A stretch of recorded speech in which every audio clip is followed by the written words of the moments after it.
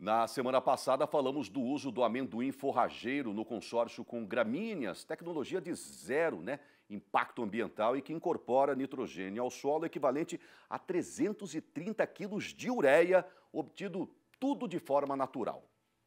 Hoje vamos falar de um problema comum da região amazônica e que gera prejuízos aos pecuaristas, as várias doenças de cascos nos animais. Quando isso ocorre, o gado apresenta baixo desempenho produtivo e reprodutivo. Estima-se que entre 10% e 15% do rebanho acriano tenha desafios com as doenças de cascos por conta da umidade e das áreas de pastagens que alagam. Né? Em linhas gerais, a queda de produtividade do rebanho oscila entre 20% e 30%, o equivalente a uma perda de 74 dólares por cabeça ao ano, algo em torno de 400 reais mas o casqueamento preventivo tem ajudado a identificar e tratar os bovinos, minimizando os impactos da doença. O repórter Marco Ribeiro conversou com o pesquisador da Embrapa Acre, o Francisco Aloysio Cavalcante, e você confere mais informações a partir de agora, aqui na tela.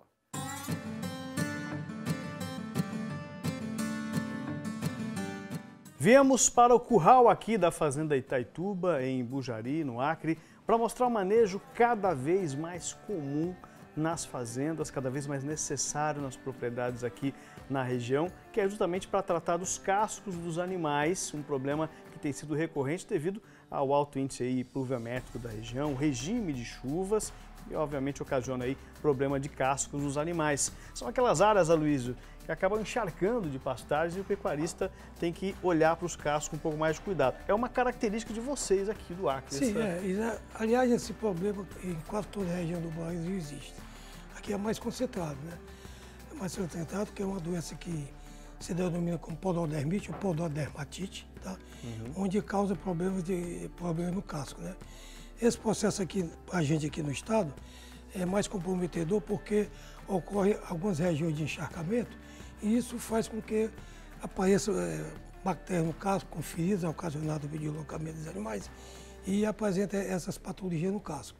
E alguns pecuaristas com poder econômico maior é, introduziram a metodologia, como é que é feito, o casqueamento.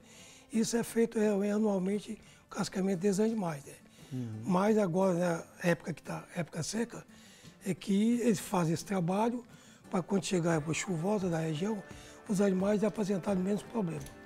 Claro que o pecuarista fazendo isso não vai deixar de existir o problema, vai ocorrer, uhum. mas em uma proporção bem menor. Para você ter uma ideia, é, é, ocorre, a literatura fala que o custo dessa, dessa patologia para o produtor chega em torno até de 134 dólares anual, onde envolve mão de obra, é, perca de peso dos animais, é, medicamento, entendeu? Então isso é um custo relativamente alto para a região, mas, mas os, os pecuaristas com maior poder econômico conseguem contornar isso, diminuir os prejuízos, e isso está introduzido na região, se fazenda de grande, de grande extensão, que tem muito rebanho, normalmente se introduz essa, essa parte de, de, vamos dizer assim, uma, uma, uma maquiagem dos cascos dos animais para passar o tempo com pouca chuva, né? Agora que sai para entrar no inverno para apresentar situações menores. O Aloysio, o que, que é, é, isso pode ocasionar? É, é são bactérias? O, que, que, o que, que essa questão dos cascos pode ocasionar para o animal? Pode chegar a perder o animal, por exemplo, numa situação não, mais Não, pode chegar a perder. Se você tomar essa providência, ah. você não perde o animal. Mas você vai perder peso dele se não chegar a tomar a providência. Né? De, até uns 20, 30% de perda de peso? Perda de peso em torno disso. Eu, eu, esse dado, eu, é, quem me forneceu agora foi um meu colega de, de trabalho na Iguapa, o prestador doutor Maurício, na propriedade dele ele, observou isso. Uhum. Então, há essa perda em torno de 30% do, de, de, ganho de peso dos uhum. animais. Né? Uhum. Isso ocorre porque é uma bactéria que se apresenta no, nos cascos, é ocasionado por esses ferimentos que acontecem no casco, e é necessário tomar essas providências. Né? Agora, ó, você está vendo aí esse manejo que o pessoal está realizando justamente ali ao fundo, e você está vendo nas imagens aí como ele é feito. É, é, um casqueamento, é isso? É um tratamento. É, é, não sei se vocês observaram que é um pé de lúvio, tá? Uhum. Que o, o criador rebota esses animais aqui que já estão com problemas, já foram previamente separados, eles passam esse pé de lúvio para ir com o casco mais ou menos. Já é uma primeira. Um, uma, uma, primeira é uma prevenção, atitude. é. Uhum. É uma prevenção. Que vai lá até por parte de casco, onde eles vão fazer a, a, a toalhete do, Uhum. dos cascos. Essa solução tem o que no pé de luva aqui? Essa solução é tem água e sulfato de cobre. Aham. Eu conversando com o proprietário aqui, que é o, o amigo nosso, o Chico Salles, é com uma ideia dele colocar um pouco de formal para justamente dar mais resistência no casco, né? Uhum. Esse que ele vai Fortalecer. fazer para o casco ficar mais, um pouco mais resistente. né? Uhum. Aí depois desse processo aqui, ele vai, vai, lá, pro- vai lá, vai lá para aquele, pra aquele Uhum. tombador lá, onde ele deita, se filmar, deita o animal e vão fazer a parte de, de limpeza. Às vezes é necessário até a extração de unha. A extração de unha ele faz a, o animal é contido, né? faz o, o anestésia local, né? É um processo mais complexo, local né? para poder fazer esse trabalho. Bacana. É um trabalho um pouco preventivo e um pouco já no, no- no- indicativo de, de um, de tratamento. de, de tratamento Isso, é. Uhum. ele é preventivo e tratamento. né? Isso, anualmente, ele está fazendo em torno de mil, mil e quinhentos animais. Ele, é necessário fazer isso, porque senão vai ter uma perda significativa no, rebanho.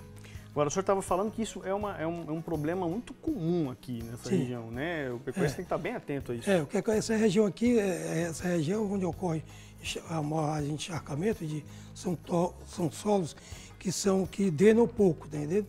O animal, no processo de desenvolvimento dele, nas pastagens, vai pisando nessas áreas, nessas áreas molhadas, e isso vai, vai provocando essa situação nos casos dos animais. O que, que o pecuarista tem que estar atento aqui da região, tem que estar acompanhando os animais constantemente? Mancou, já é, Sim, já é claro, legal claro, trazer no claro. curral? Como é que ele pode... é, os próprios, o- o- os peões, normalmente já estão orientados pelo proprietário, já o animal está mancando, já separa numa área para fazer, fazer a programação, para fazer é, essa, esse combate na doença. Bacana. É o olho que engorda, é o olho que cuida, é o olho que Sim, claro. faz o boi do render, dono- né, Luiz? O olho do dono é que, é que, é que cresce o bolso dele, enche o bolso dele, né?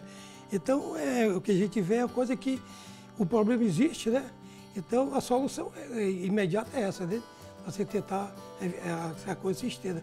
Porque se você soltar um animais desses que estão mancando no rebanho sadio, isso pode, pode, pode de animal transmitir para aquele rebanho sadio. Mas uma coisa que eu quero ressaltar é que a pequena produção, produtores que têm um menor custo, tem um, de menor custo econômico, ele sofre com isso também, porque apresenta, às vezes ele não tem estrutura de fazer a situação dessa e vai, e vai, a coisa vai complicando. E também os criadores que compram animais, que compram, chegam na fazenda, vende, ele tem que fazer uma, uma observação desses animais, se tem animal mancando ou não, para isso não ir se contaminando para o rebanho, que ele chega a vender a produção dele. Com certeza. E aí procurar ajuda, né? Procurar orientação técnica para poder tratar isso na fazenda. Né? Claro, claro, claro. E aqui o, a- a- o setor econômico, o setor produtivo, tem uma interação muito forte com o nosso centro, tá entendendo? Principalmente na parte de pastagem, né? Eles têm uma interação muito forte. E aí a gente, como, como já tem outras atividades, a gente vai também atrelando algumas situações em cima disso. ok? Tá bom. Aloysio, te agradeço por enquanto, obrigado por esse bate-papo e por poder mostrar um pouquinho disso, né, pessoal? Essa troca importante de informações, de experiências, né, de vivência entre a comunidade científica, entre o pecuarista e que vai gerando aí os projetos, as soluções, o atendimento a essas demandas que vem vindo sempre do campo das fazendas do Brasil. Obrigado por enquanto, Aloysio. Obrigado, Parabéns pelo trabalho de vocês, viu? Muito obrigado. Maravilha, as chuvas vão voltar agora, pessoal, e os cuidados deverão ser redobrados em relação aos cascos aí do seu gado, tá bom? Fico alerta.